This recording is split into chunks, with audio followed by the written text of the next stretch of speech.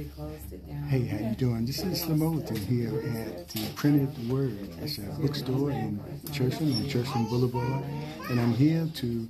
Uh, it's, it's a bookstore that uh, caters to reading for children, encouraging them to read.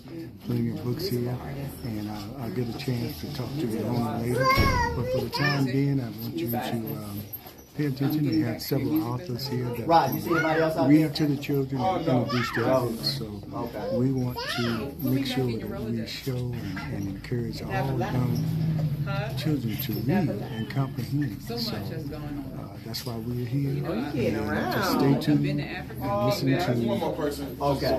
Listen to the 20, authors and, and 2022. there's a lot of children here that are going to benefit from the reading of the a authors. So some of them have come from in Maryland. and November. One of them is uh, Chris Brown. She was on our show last week. So she will probably be leading the authors and then there'll be a few other authors that will come up in.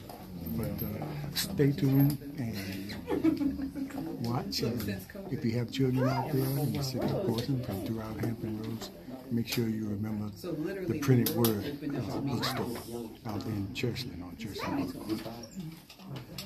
We'll be back with the authors.